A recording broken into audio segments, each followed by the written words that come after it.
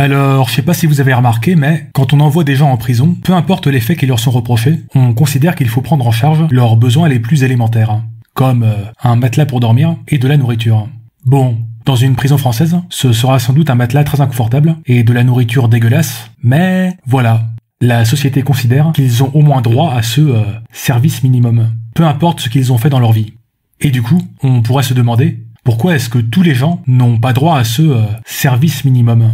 Bon, là, beaucoup vont lever les yeux au ciel. Oh, ça va, on est en France, l'un des pays avec le plus d'aide sociale au monde.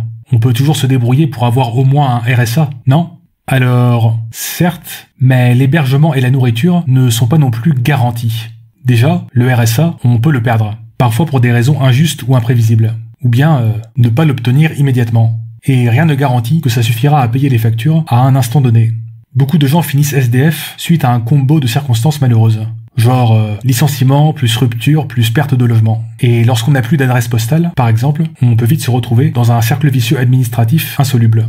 Et même si on n'est pas soi-même SDF, ben, beaucoup vivent avec l'arrière-pensée stressante que ça pourrait leur arriver un jour.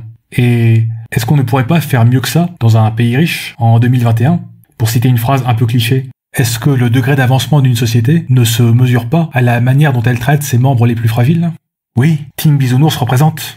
Bon alors, il euh, y a un truc qui s'appelle le SAMU social, voir dans la description. Ouais, euh, en gros, euh, comme les urgences médicales, mais pour les gens qui sont sur le point de finir à la rue. Mais c'est très loin d'être un service satisfaisant. Déjà, ce service est fourni par des associations non gouvernementales. Ouais, apparemment, le gouvernement ne considère pas cela comme assez important pour s'en occuper, contrairement à la santé ou à l'enseignement. Et en pratique, leur numéro d'urgence est très souvent saturé. Selon un rapport de la Fondation Abbé Pierre en 2013, seule la moitié des personnes composant ce numéro ont pu obtenir un hébergement. Alors que bon, euh, on pourrait imaginer un service public avec des moyens suffisants pour répondre à la demande. Ça semble pas non plus la mer à boire. Bon, euh, mais ça, c'est pour la partie urgence. Mais faudrait pas non plus que les gens se retrouvent coincés indéfiniment dans un centre d'hébergement d'urgence. Il faudrait aussi les aider à remonter la pente. Et pour cela, on pourrait s'inspirer de la Finlande, voir dans la description. En Finlande, le droit au logement est inscrit dans la Constitution. Ouais, qu'est-ce que t'as à répondre à ça Le pays des droits de l'homme, hein? Et du coup, le rapproche, c'est de d'abord fournir un logement en HLM aux personnes qui n'en ont pas, sans poser de questions, et ensuite seulement, on avise pour le reste. Il y a également des équipes spécialisées pour aider les personnes souffrant d'addiction ou souhaitant entreprendre une formation professionnelle. Dans une expérience similaire à Seattle, on a fourni des logements stables à des personnes sans abri qui avaient de graves problèmes d'alcoolisme, ce qui a réduit de 60% leur coût en termes de santé publique. Bah oui, lorsque beaucoup de gens sont coincés dans l'extrême précarité, cela finit par coûter cher à la société. Même d'un point de vue purement financier, on a donc tout intérêt à les aider à remonter la pente.